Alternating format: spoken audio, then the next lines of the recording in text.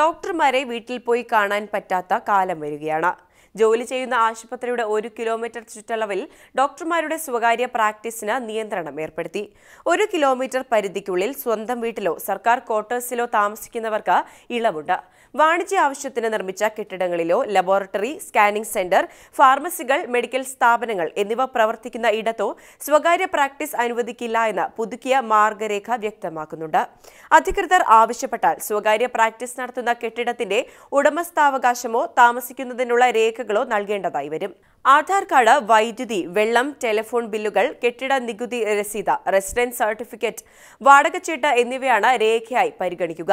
സർക്കാർ ഡോക്ടർമാർക്ക് മാത്രമാണ് സംസ്ഥാനത്ത് സ്വകാര്യ പ്രാക്ടീസിന് അനുമതി.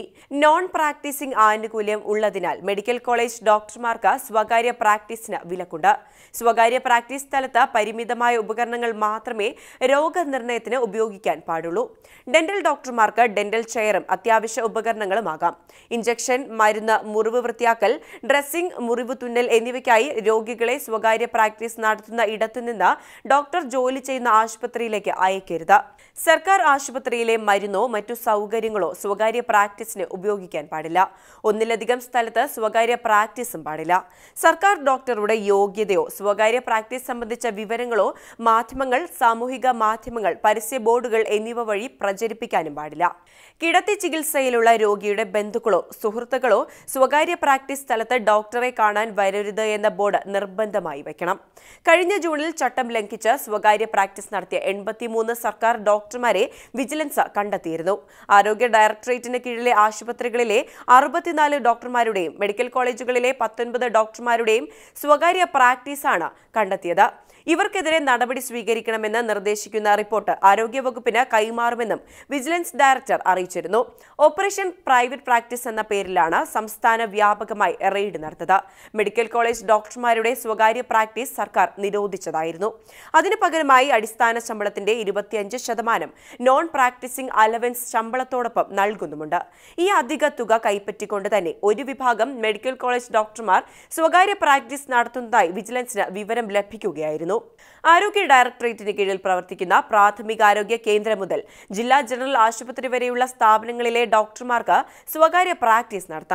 പുതുക്കിയ നിയമമനുസരിച്ച് ഡോക്ടറുടെ താമസ സ്ഥലത്ത് മാത്രമേ പ്രാക്ടീസ് നടത്താൻ പാടുള്ളൂ എന്ന നിയമമാണ് ഉണ്ടായിരുന്നത്. അപ്പോൾ നഴ്സിന്റെയോ ടെക്നീഷ്യന്റെയോ സേവനം അനുവദനീയമല്ല. ഈ വ്യവസ്ഥകൾ ലംഘിച്ചുകൊണ്ട് വാടക കെട്ടിടങ്ങളിലും വാണിജ്യ സമുച്ചയങ്ങളിലും സ്വകാര്യ പ്രാക്ടീസ് നടത്തുന്നതായി വിജിലൻസിന് പരാതികൾ ലഭിക്കുകയും ചെയ്തു. എഴുപത് ടീമുകളാണ് മിന്നൽ പരിശോധന നടത്തിയത്. മെഡിക്കൽ കോളേജ് ഡോക്ടർമാരിൽ കോഴിക്കോട് ജില്ലയിൽ എട്ട് ആലപ്പുഴയിൽ മൂന്ന് തൃശൂരിൽ രണ്ട് തിരുവനന്തപുരം കോട്ടയം എറണാകുളം മലപ്പുറം വയനാട് കണ്ണൂർ ജില്ലകളിൽ ഒന്ന് വീതം എന്ന കണക്കിലാണ് ഡോക്ടർമാരുടെ സ്വകാര്യ പ്രാക്ടീസ് അന്ന് കണ്ടെത്തിയത്. ആരോഗ്യ ഡയറക്ടറേറ്റിന് കീഴിൽ ജോലി ചെയ്യുന്നവരിൽ തിരുവനന്തപുരം പത്തനംതിട്ട ജില്ലകളിൽ പത്ത് വീതവും കണ്ണൂരിൽ ഒൻപത് കാസർഗോഡ് എട്ട് കൊല്ലത്ത് അഞ്ച് പാലക്കാട് കോഴിക്കോട് വയനാട് എന്നിവിടങ്ങളിൽ നാല് വീതവും കോട്ടയം മൂന്ന് ഇടുക്കി മലപ്പുറം രണ്ട് വീതം ആലപ്പുഴ എറണാകുളം തൃശൂർ എന്നിവിടങ്ങളിൽ ഒരു ഡോക്ടർ വീതം എന്നിങ്ങനെയാണ് വിജിലൻസ് റെയ്ഡിൽ കണ്ടെത്തിയത്. വാടകയ്ക്ക് എടുത്ത കെട്ടിടത്തിൽ സ്വകാര്യ പ്രാക്ടീസ് അനുമതി ലഭിച്ചത് അടക്കമുള്ള നിർദ്ദേശങ്ങളെ കെ ജി സ്വാഗതം ചെയ്തിട്ടുണ്ട്. സ്വകാര്യ പ്രാക്ടീസ് സ്ഥലത്ത് ചികിത്സയ്ക്ക് അത്യാവശ്യ ഉപകരണങ്ങൾ ഉപയോഗിക്കുന്നതിന് തടസ്സമില്ല എന്ന് പ്രസിഡന്റ് അറിയിച്ചിട്ടുമുണ്ട്. അതേസമയം സ്വകാര്യ പ്രാക്ടീസ് ചെയ്യുന്ന സ്ഥലത്തുനിന്ന് രോഗികളെ ആശുപത്രിയിലേക്ക് അയക്കരുത് എന്നതടക്കമുള്ള നിർദ്ദേശം അപ്രായോഗികമാണെന്ന് സ്പെഷ്യലിസ്റ്റ് ഡോക്ടേഴ്സ് അസോസിയേഷൻ പ്രതികരിച്ചു. ഗൈനക്കോളജിയിലും ഹൃദ്രോഗ ചികിത്സയിലും ഒന്നും ഇത് പ്രായോഗികമല്ല എന്ന് അസോസിയേഷൻ വക്താവ് അറിയിച്ചു.